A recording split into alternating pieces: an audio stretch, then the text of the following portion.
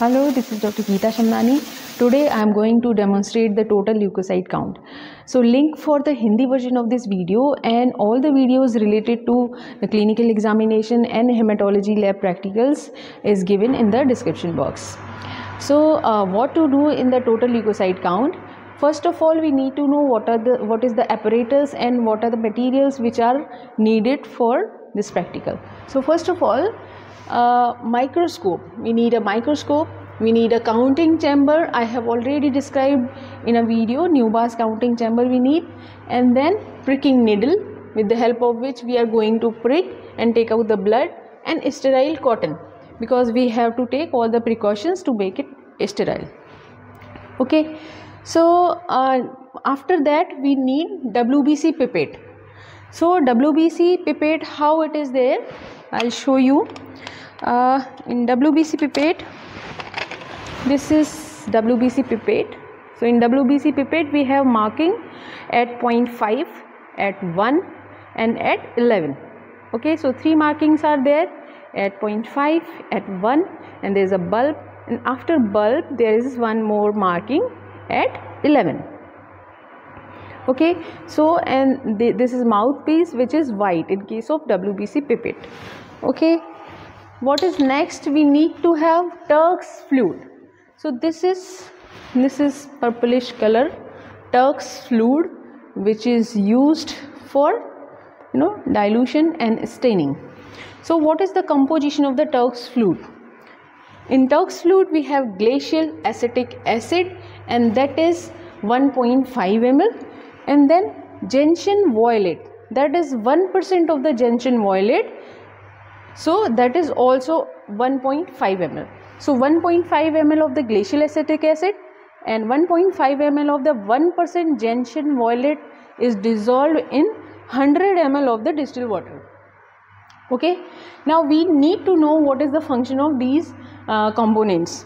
So glacial acetic acid is used for rupturing the wall of the rbcs okay membrane of the rbcs so uh, there may be a question that does it rupture the membrane of the WBC also?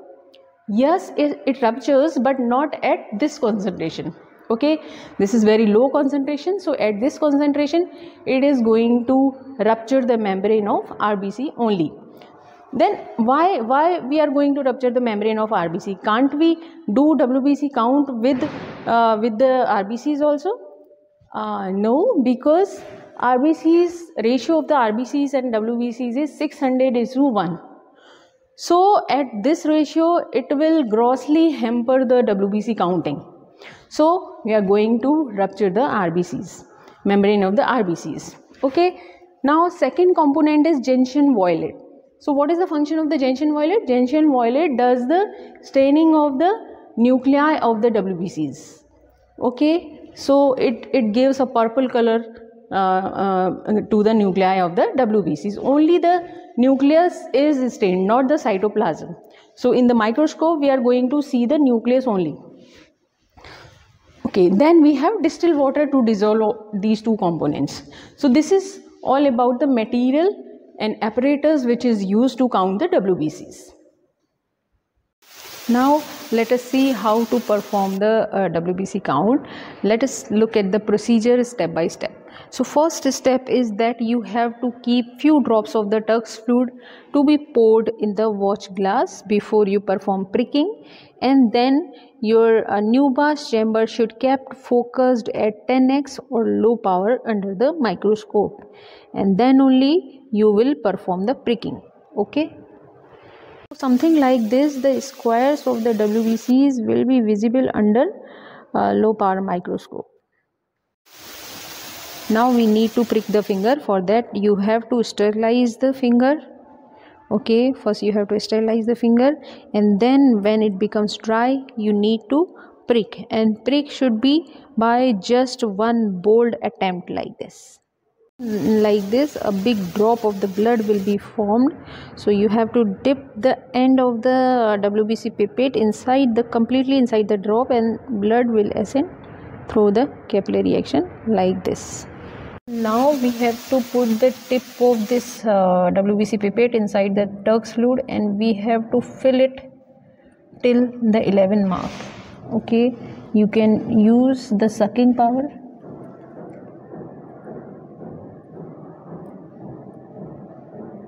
and like this you have to fill up to the mark 11 uh, so uh, fluid now fluid and blood both are in this bulb and we have to tilt the uh, this rubber tube so that the fluid should not come into the rubber tube.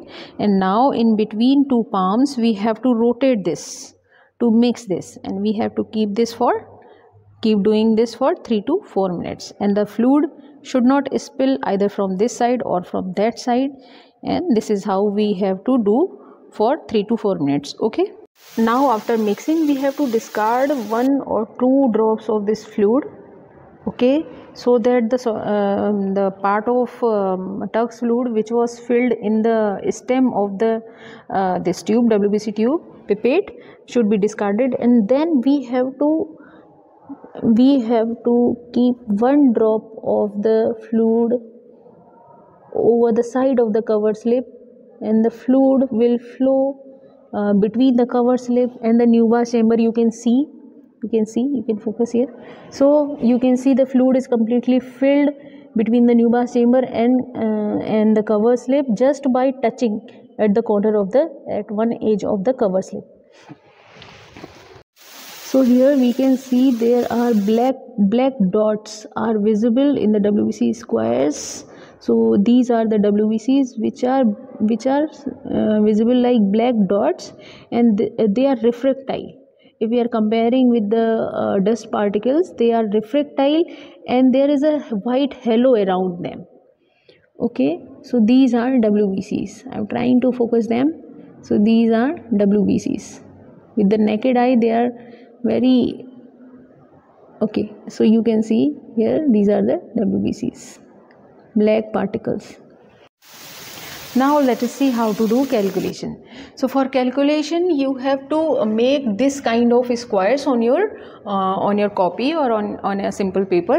Because we are going to count the number of WBCs these four corner squares which are again divided into 16 medium size squares. So similar to that we'll make we'll draw on our uh, on our copy. So what we have to do you have to count the number of cells. And how you have to do the counting? Suppose the number of cells in this square is 2 so for that you have to write down 2 here it is 1 so you will write down 1 and suppose if there is one one WBC at this at this edge okay or at this line. So where you will count? You will count in this square. And suppose if it is there on this line. So you will count in the lower square. So it should not be counted two times okay for that you should ad adopt a formula of inverted L like this. So inverted L means you have to if suppose the WBC is present on the line okay so you will count the WBC of the upper and left line on that square. So by using this formula we will not uh, uh, we will not count the WBC two times or no WBC will be left okay so suppose one WBC is there, so this will be count in this square. Suppose if it is there, so it will be count in this square. Okay, so like this we have to count the WBC and we have to write down.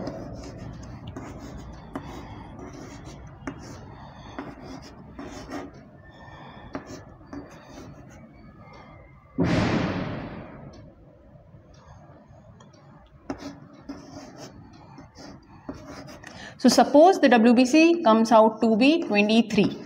So suppose here it comes out to be 23, here 24 and here 26, here 27. So this is N1, N2, N3, N4. So total uh, number of WBCs which were counted comes out to be N which is N1 plus N2 plus N2 plus N1 plus N2 plus N3 plus N4 so we will add these four which comes out to be here in this case it comes out to be 100 so n is 100 so now uh, we will we have to count the WBCs so here n is 100 and for counting WBCs number of WBCs per millimeter cube of blood is n into 50 this is one formula which we have to apply while counting the number of WBCs so here n is 100 into w into 50